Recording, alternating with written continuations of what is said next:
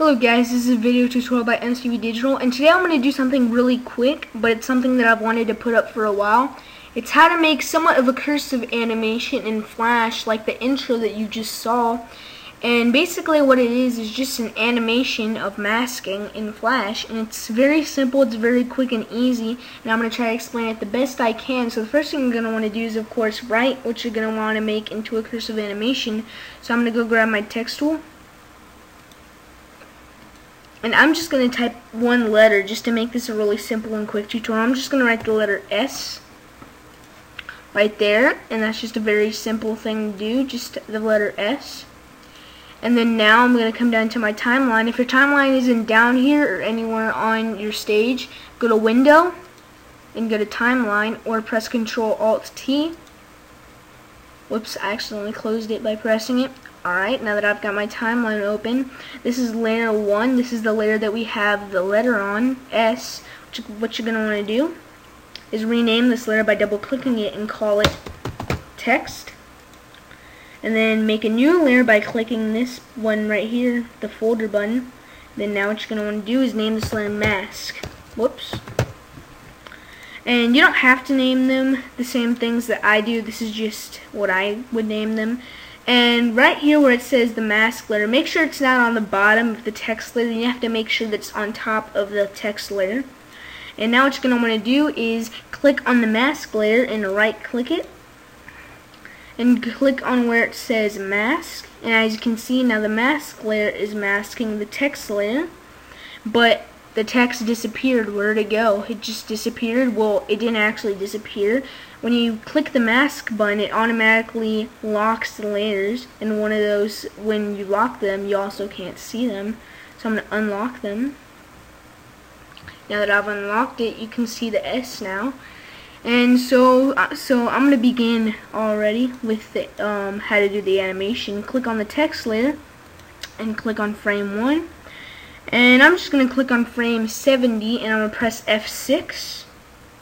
Well, actually, it's not going to really take that many frames to do this, so um, I'm going to select all of these. I'm going to hold shift and press F5 to delete them, and probably it's only going to take me until frame 20 or 25, so I'm going to click on frame 25 right here under the number 25, and I'm going to press F6 on my keyboard. Now, as you can see, um, all these frames have the letter S on them. And so now come back and click on the mask layer, then click on frame 1 and go to your brush tool.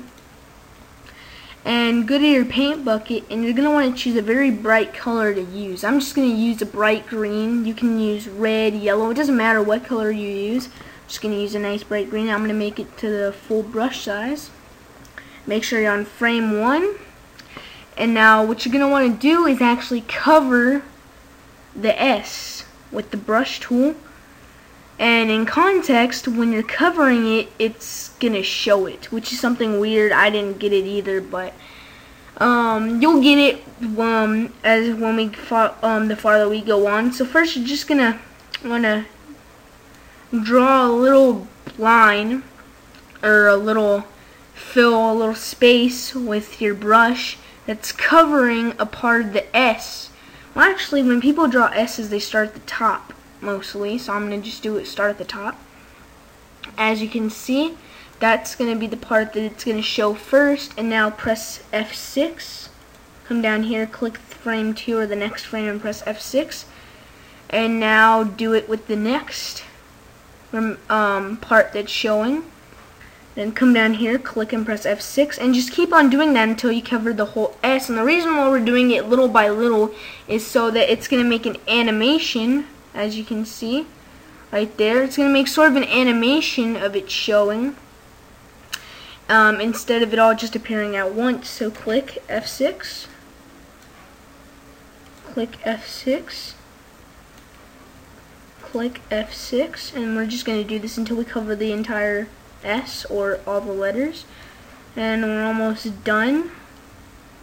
Over here at the end. And that didn't take too many frames. And as you can see, now it is somewhat of a cursive animation. Actually, I'm just going to bring this out one layer. I'm going to select all these and bring them out one layer. And there it is. It's a cursive animation of the S being drawn. Very simple, very easy, but very effective. And um, this is just a really good tutorial to know for any type of animation. You can also do this with any picture that you've drawn. Like if you draw a picture of a plant or a flower, you can also do this to make it look like it's growing onto the stage. This is just a very nice tip to know.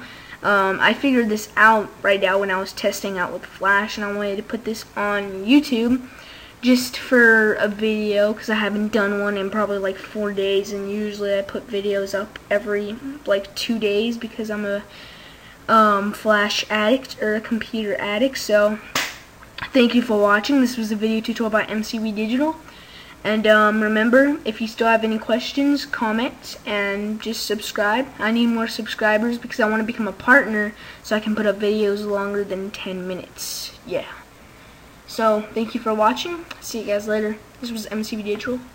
Peace. Wait, what?